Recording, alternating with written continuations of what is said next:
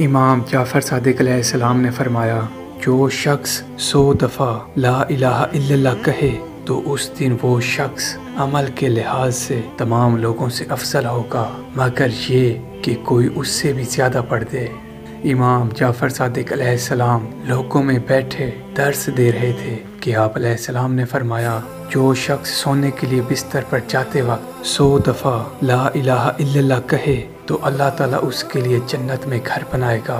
और जो शख्स सोने के लिए बिस्तर पर जाते वक्त सौ मरतबा अस्तगफार करे तो उसके गुनाह इस तरह अलग हो जाएँगे कि जैसे दरख्त से पत्ते गिरते हैं, कि जैसे दरख्त से पत्ते गिरते हैं।